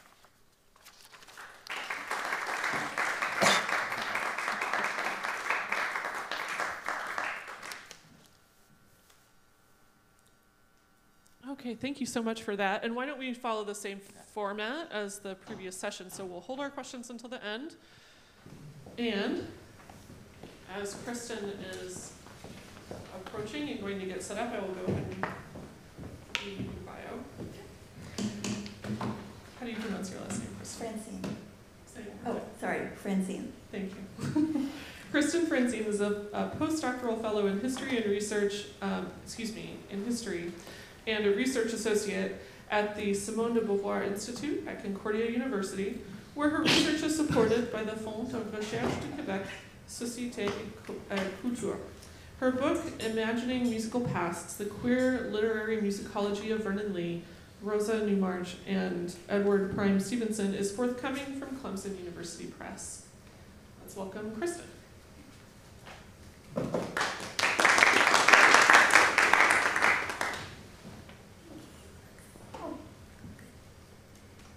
All right. Um, so yeah, I'm really excited to be here um, in person in, in New Orleans. Um, and I'm also just really happy, um, kind of to echo um, some of August's comments at the beginning, to, to think more deeply about the idea of the ways in which um, a, scholar's identity um, and sort of historical context might influence um, the, the sorts of work uh, that they produce. And I think that's, it'll be a really interesting through line, I think, through um, several of the, the papers today and tomorrow and at some of the um, history of theory and history of musicology things going on at the, the larger conference later this week. Um, so, so this talk I'm giving today, um, an autobiographical interest in which, for which there is no real warranty, um, is taken from um, two kind of different but related projects I'm working on. One, the, the book project that I'm hopefully finishing up on um, the kind of relationships and um, methodological connections between um, the uh, aesthetic philosopher and horror writer Vernon Lee, um, the Tchaikovsky biographer and poet Rosa Newmarch, and the music critic turned amateur sexologist Edward Prime Stevenson as a way of thinking about a kind of proto queer musicology around the turn of the 20th century. Um, and then, sort of, the project I am very slowly moving into um, is a, a, broader history of gossip and unreliable sources um, within the sort of European composer biography, um, using in particular the case of um, Antonio Salieri as a sort of case study in unreliable um, biographical sources and biofiction. Um, and in my talk today, I'm going to look at um, Newmarch's writings on um, music that has to do with the deaths of Mozart and Tchaikovsky. Um, as one example of how um, she, as a figure who was both celebrated and marginalized within early 20th century British musicology and public music theory, um, kind of grappled with questions of reliability and authorial intent um, in, in writing about some of these works. Um, so in my talk today, I'll sort of give a brief overview of um, some kind of scholarship on uh, the history of gossip uh, in the last 20 years and kind of what that might have to do with music. Um, I'll explore uh, a rare example of Newmarch's reflections on her role um, as an analyst. Uh, she very famously wrote a collection of program notes originally uh, for the proms that were later published as a kind of um, home education guide, as it were, to thinking about things like musical form. Um, and then I'll turn to uh, her commentary to her translation of Rimsky-Korsakov's Mozart and Salieri, and the passage on the Pathétique in her first Tchaikovsky biography to think about how she um, grapples with historical gossip as both a, a, very strong skeptic and also someone who is aware uh, that her, her reading public, especially her uh, non academic public, is very invested in some of these sensational stories. Um, and I'll, I'll conclude with some preliminary thoughts about the role identity plays um, both for Newmarch in her works and also among some of her more famous readers. So, why, why am I talking about gossip? Um, for, for the one thing, um, in, in my, my work on kind of the, the early proto history, if you will, of, of queer musicology, um, questions of unreliable sources and counter narratives and unexpected um, claims uh, crop up a lot when you have um, communities and people looking for histories kind of outside of um, established structures. Um, and I'm especially here drawing from the, the work of art historian um, Gavin Butt and queer theorist uh, Jose Esteban Munoz um, in thinking about sort of community functions of gossip um, in kind of particular artistic circles. Um, but I also just briefly want to mention that it's also important to think about um, the political functions of gossip as both a tool of political resistance, as Luise White um, talks about in colonial and post colonial Africa, and also a tool of political control, as um, Matthew Elias's recent book on J. Edgar Hoover, Joe McCarthy, and Roy Cohn's attempts to both control gossip about their masculinity and sexuality while also weaponizing very similar gossip directed against others um, demonstrates. Um, and musical gossip, I argue, links uh, a person or a community emotional connection with a particular performer or work very broadly defined, um, to ideas of not just community membership, but also an appeal to secret or hidden or esoteric knowledge. Um, and I think that's something I think any of us who have taught a, a music appreciation or a first year theory class can relate to. This um, oftentimes, I think our students think we have uh, secret or esoteric or hidden knowledge um, to impart to them. Um, and one of the, the folks who's, who's done a lot of work on this with regards to more recent musical gossip is, is Paula Harper, um, who is in the process of publishing um, a paper she gave at SAM a couple years ago about uh, the conspiracy theories surrounding um, queer readings of Taylor Swift's music on social media.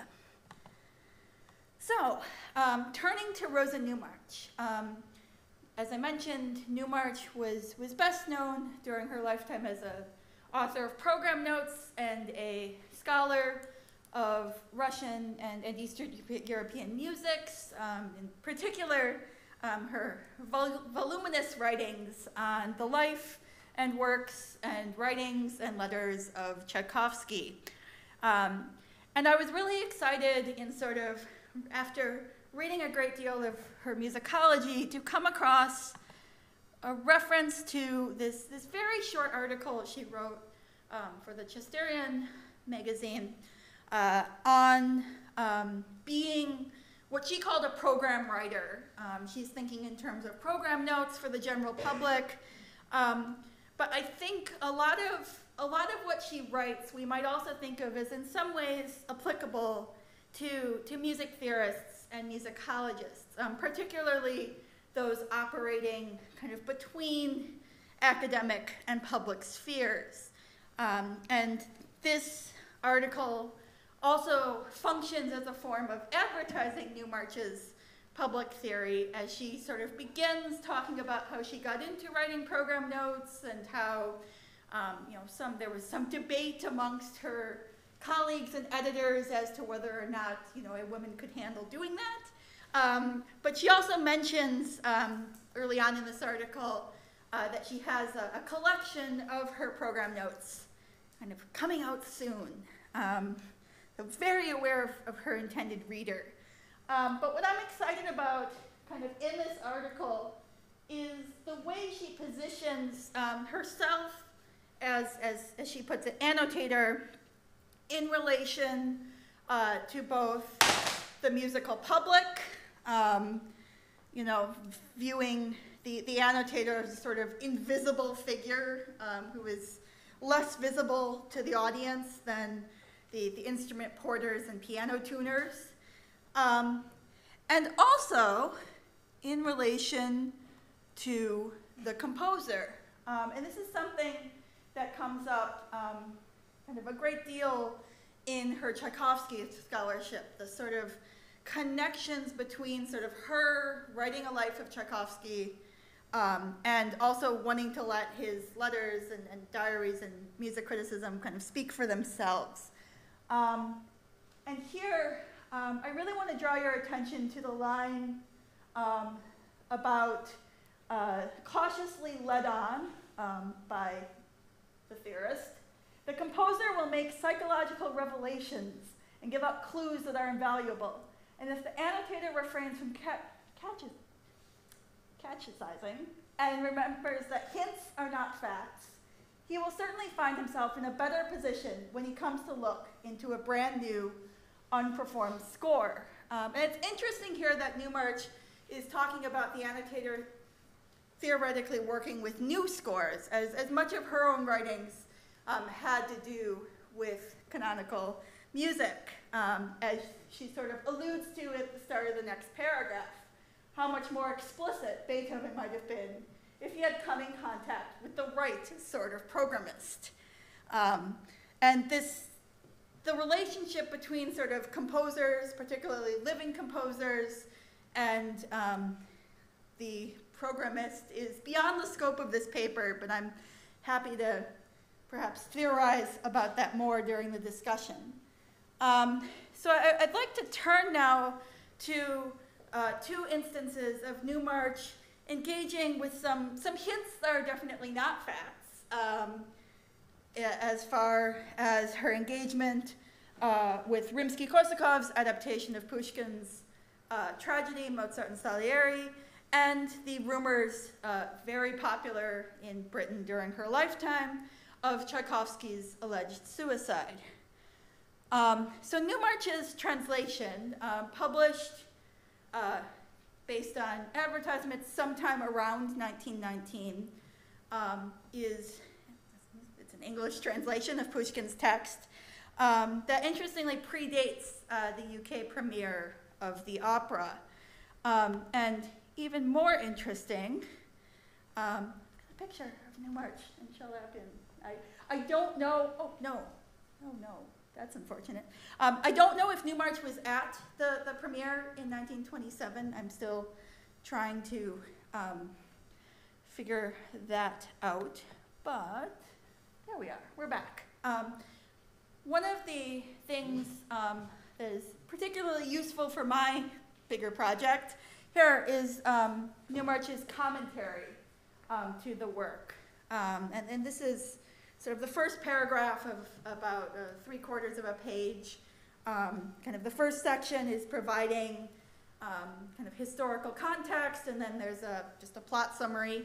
Um, and uh, in this section, um, Newmarch sort of, there's this tension between, you know, immediately wanting to debunk the gossip um, that she knows is not true, and then, like, show off her sources, like, where did this come from? Um, and we can talk about the sort of uh, inaccuracies in, in her, her sources there, um, including the, the misstating of the Gustave Nicolai novella, um, which that misdating almost certainly comes from Otto Jahn. Um, and uh, pitch for my talk on Friday, um, where I will be exploring um, a number of unreliable 19th century sources, including Der Musikfeind by Gustave Nicolai.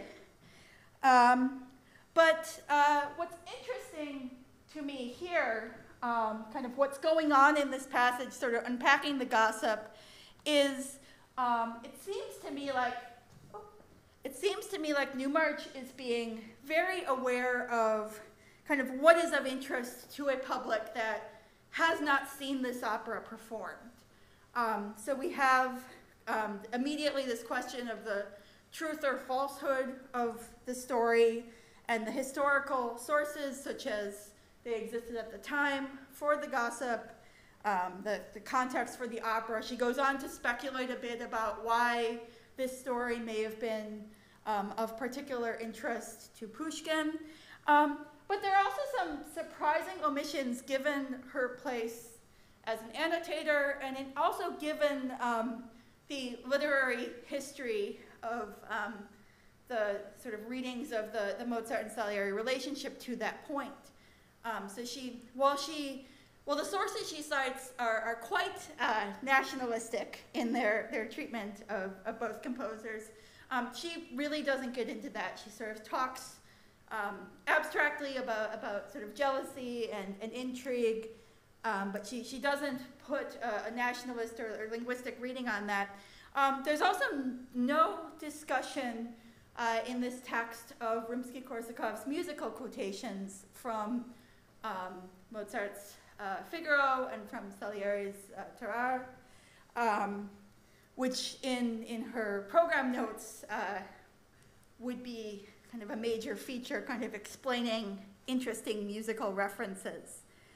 Um, and just to, to move on um, to uh, the, the question of kind of biographical or autobiographical readings of, of music and supposed musical allusions to things in history.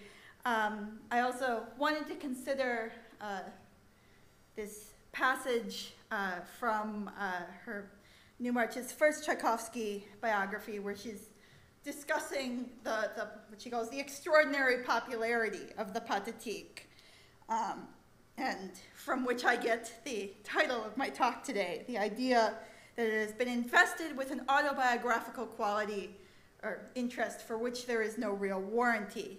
Um, and she mentions, um, alludes to sort of autobiographical readings of, of death into the work. Um, she mentions the sensationalist suicide rumor.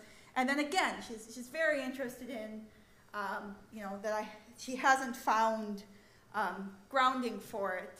Um, now, she may not have found grounding for it, but she and her publisher were certainly very aware that, um, you know, one of the reasons someone in uh, sort of the English-speaking world in 1900 would pick up a book on Tchaikovsky is that they were curious about all of these rumors swirling about the Pathetique. Um, and in fact, the, the cover of um, Tchaikovsky, his life and works, includes, it's hard to tell them, these, these two gold medallions on the, the dark red background. Um, but the one on the right is an image of Tchaikovsky, and the one on the left is the famous theme from the Adagio Lamentoso to the Pathetique. So even the sort of physical object of the book is sort of playing into um, the sort of mythology that's forming around the piece less than a decade after Tchaikovsky's death. Um, and in, um, in the sort of extant scholarship on Newmarch, um, to which um, I am also contributing, um, there's a great deal of discussion about what she may or may not have known or have been told um, about Tchaikovsky's sexuality. Um, Malcolm Hamrick Brown uh, floats the idea in, in 2002 that she um, was probably told something but sort of politely uh, declined to mention it. Um, more recently, folks like Philip Bullock and Nastasya Distiller have um, looked into kind of homosociality within Newmarch's circle and, and personal and professional relationships, um, and in particularly um, a potential queer reading of her poem, The Symphony, um, a poem about the Pathetique, um, to her, her relationship with her longtime companion, Bella Simpson. Um, there's also a semi-established history of uh, queer readers of Newmarch's biography sort of reading um, reading the, the sexuality and the subtext back in. Um, and E.M. Forster, in his famous Locked Diary, talks about reading um, either Newmarch's biography or, or her translation of Modeste's biography, um, and that sort of inspiring the scene uh, in Maurice, where Maurice and Risley discuss the Pathétique. Um, and the, the American critic Edward Prime Stevenson, in his History of Homosexuality, The Intersexes from 1909, um, alludes to critics, uh, which he does not name, sort of assiduously trying to debunk the suicide rumor and the sort of back and forth between kind of tragic queer readings of the Pathétique and biographical scholarship.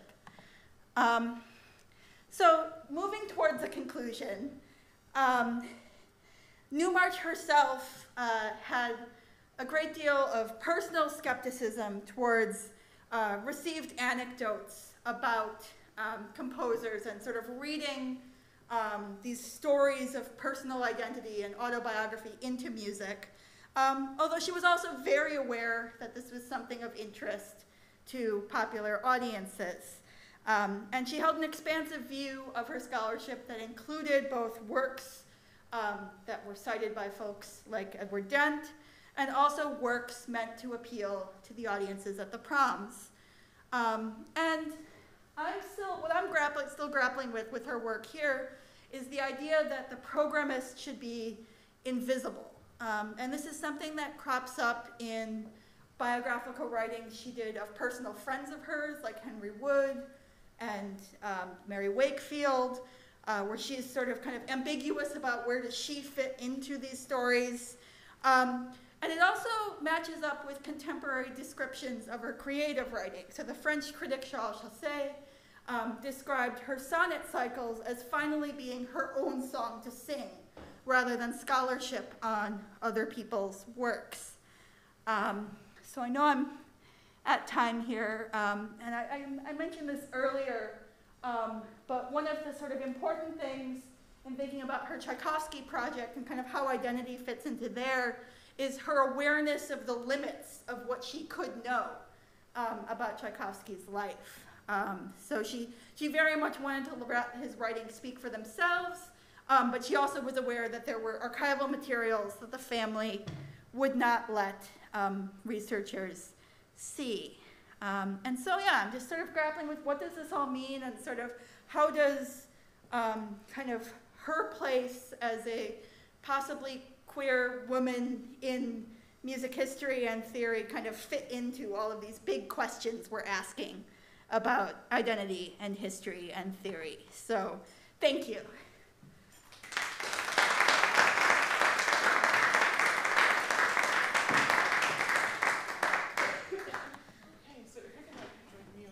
Yeah. Let me just unplug this.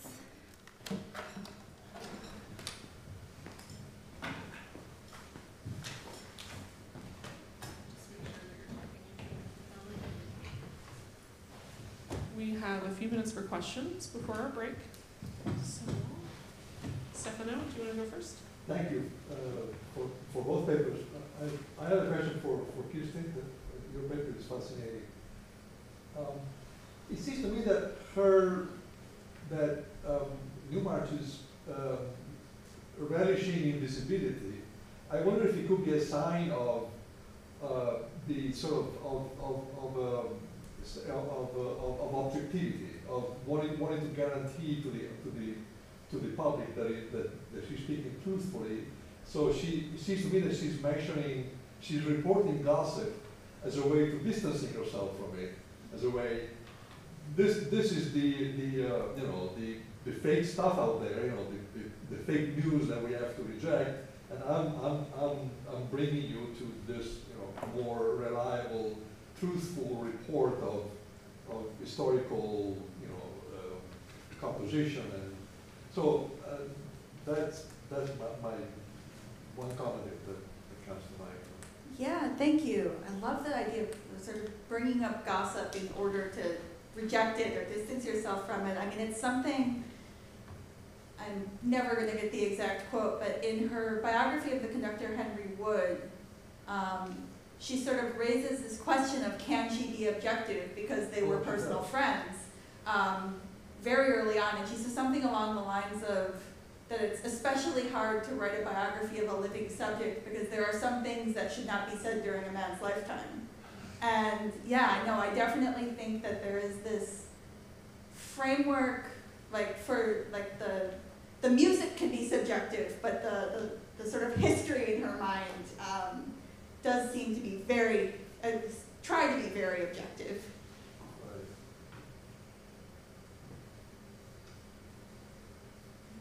And a, a question for, for Patrick. Um, thank you uh, for the talk. I wonder if you would be willing to, or able to talk a little bit uh, more about the, the circumstances surrounding his exile. And uh, uh, I don't know a ton of his, his biographical story. Like, was, was he at all connected with like the Eurasianist movement? Like the sort of, the idea of like unity is something that I feel is, is one of these kind of concepts going around among the, the kind of uh, Russian exiles at that time. So if that's, you know, something you could talk about if it's relevant to work. Sure. Uh, I'll, I'll tell you a little his story in a nutshell. Um, he was he lost his house after the revolution, had to go into kind of internal exile to a friend's dacha outside of Moscow, and then finally decided to immigrate in 1921, uh, both because he thought maybe he would have better career prospects abroad, uh, although that didn't turn out to be the case, and also because it was just simply uncertain how safe things would be in Russia at that point. I mean, he'd come close to being arrested, being bourgeois, things like that. Um, he was not connected in any way, shape, or form to the Eurasianist movement uh, because he, given his German last name, he was uh, a few generations removed from Baltic German ancestry, basically. But his family, especially his brother, you might know Emil Medtner, was uh, probably the most prominent figure in the Moscow symbolist movement and was known for introducing Goethe, Kant, and Wagner, and really uh, trying to heavily influence people like Andrei Bely in the, uh, in the German tradition, and that included also his brother Nikolai. So Medtner was always considered to be a German composer, although he himself kind of viewed, he viewed himself as a Russian composer with German leanings. And um, one of the major reasons why he was obsessed with unity is because he was coming out of the German Romantic tradition, Goethe. Um, and he hoped to find uh, his cherished musical values in Germany when he arrived there in 1921, but he felt like um, it was gone. And he felt that everyone had just fallen for what he called modernist fashions and had abandoned the muse, had abandoned the uh, proper values that humanity had discovered over centuries. That, those are his terms, basically. And um, he did have a somewhat metaphysical view, though, of music as capable of producing collective experiences and basically of manifesting a kind of divine spiritual sense or feeling of unity on earth.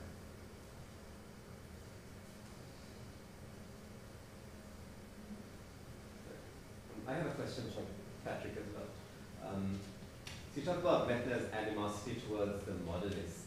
Um, I'm just wondering if you know, um, I'm genuinely curious, um, did modernism, so modernism dominates art history books, art textbooks, but did modernism actually dominate musical life in Germany at the time? When Medtner's complaining, is he just complaining about the most respected elite composers of the time? So my question is, did German Romanticism ever go out of fashion with the German listening public?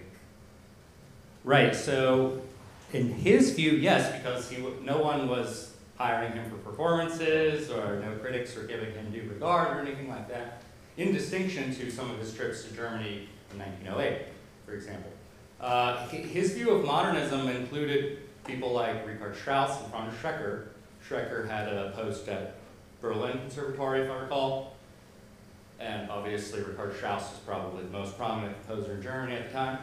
Uh, so he, he, he kind of viewed modernism as encompassing this um, disintegration of the ability of the tonic to rule over large swaths of chromaticism, which included uh, mu- musical developments even prior to Schoenberg and Stravinsky and things like that. About Schoenberg and Stravinsky, he would he basically couldn't even talk about them because he viewed them as just so far gone that they were like demonic forces or something. So, um, so yeah, I mean, I think one one of the important things about Medtner's case is that, that so many music scholars today are trying to broaden the purview of modernism. Even conservative composers, English pastoralists, anybody you can think of who is reacting to the, you know, the traumas of the 20th century are modernists in their own way. But I think that loses some of the uh, importance of considering modernism to be that experimental attitude towards music with how it was understood at the time and for most of the 20th century because that attitude towards music itself had detractors, people on the other side, people who viewed that as uh, decidedly destructive. So you could try to like recoup Medtner into modernism by like, oh, look at this modulation, it's so cool. Like, you know, Brahms couldn't have even done it like that or something. But you know, I think that would lose some of the uh, kind of historical value that his case would uh, have. But Medtner would have considered regards just to be in what it is. Yes. One, let's do one more question before our break. Who, who will it be, Sheffy or August? Go ahead. You sure? Yeah, August. Um, well, it's, it, it may be one of those more comment than question things, but I'm fascinated, uh, Kristen, by this, the line from Newmarch comparing the programmist and the composer to psychoanalyst and patient.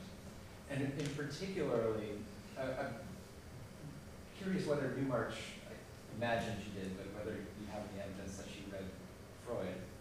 Um, and then Freud's view that biography was essentially an impossible genre, right? Because you could, you either couldn't write it because you weren't, didn't know anything or weren't close enough, or you were too close to be objective, right? And then thinking about Stefano's point about establishing objectivity, but doing it in a way that gives an awful lot of airtime to the gossip, right? It, it's this, it's this really interesting dynamic that um, that I think can be at play too, even in the most, uh, you know, quote unquote, rigorously objective music analysis, right? We're always close to the music, we're always close to the, in some way, and that's something that the your your look at Newmarch really brings out. Yeah, oh gosh, I don't, I would have to go back and look at her letters to look for references to Freud. Um, I could, based on how she uses the term psychoanalysis elsewhere in some of her writings, I'm trying to think. I think it cropped up in one of her Grove articles, um, possibly the one on Tchaikovsky, where she's talking about, again, what she sees as sort of overly autobiographical readings. Um, I, I just could see her being very skeptical of that, but obviously she's grappling with exactly what Freud is talking about, where she, um, in some cases, wants to be extremely objective, but then she keeps writing, like she also writes, like I said, biographies of close personal friends, or she writes poetry about the music she likes, where she can be as subjective as she wants. Um, and so it, it does seem to be something um, of of great interest to her and of great um, kind of frustration with maybe what um, not just music biography or, of music research more generally should be um, in this time. That they're um, just thinking a few decades after her, there's that horrible quote by Sachs who says something in, in the 50s where you know nowadays any girl that you know transcribes something from Grove can call herself a musicologist. Um, and of course, Newmarch was contributing to Grove in the 19 teens, so I think there's, there's a lot to be said there about kind of who's allowed into what spaces at what time um, as well, and what they're able to do. Um, where the idea of also writing some of these biographies and, and program notes for a popular public um, was one way that, that women who wouldn't necessarily have access to um, sort of university um, music um, systems could contribute to kind of music research and intellectual life. Thank you, everybody, so much. Um, it's now time for our break for coffee and cake. And that has, I believe, been set up in the lobby where you came in. So we'll go out there. I'm trying to get a final head count for who will be joining us for dinner tonight so that I can call and confirm it with the restaurant. So if you would like to join us, please come find me. I'll be up there too having cake. So thanks so much for this session.